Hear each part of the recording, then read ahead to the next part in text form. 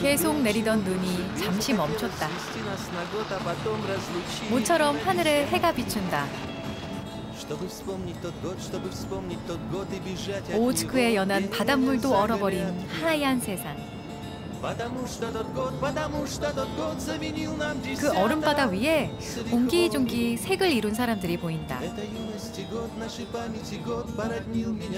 여름바다의 카이트 서핑이 지금은 얼음 위를 가로지르는 겨울 스포츠로 변신하고 제트스키 대신 스노우모빌이 빙판 위를 달린다.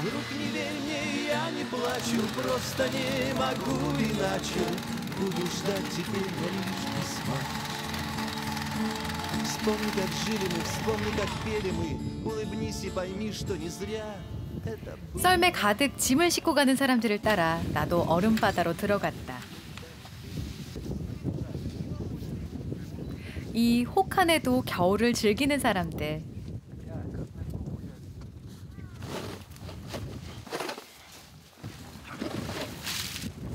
얼음 낚시를 하고 있다.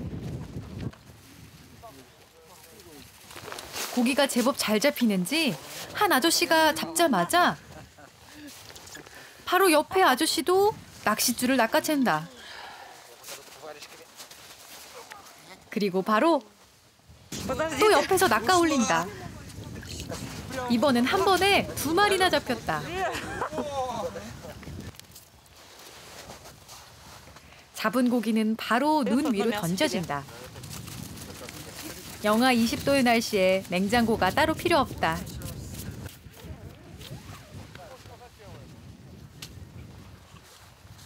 그런데 유독 한 남자가 눈에 띈다.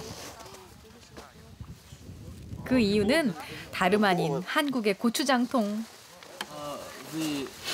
Корейский соус. Это да, здесь кучунян был, а сюда криль просто насыпали.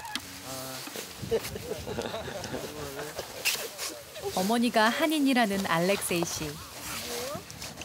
한국말은 잘 못하지만 알아듣기는 다 알아듣는다고 한다. 네. 맛있어요? 좋아요? 네.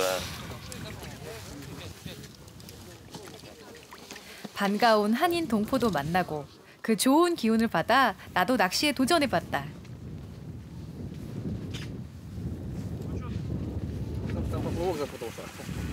얼음 구멍에 낚싯줄을 넣고 가만히 기다리면 다 될 줄 알았는데 초자를 알아보는 건지 보통 잡히질 않는다.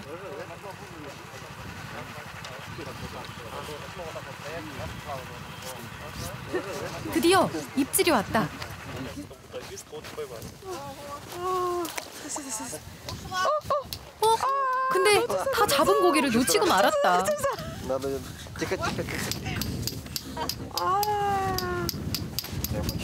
이대로 갈 수는 없어 다시 도전했다.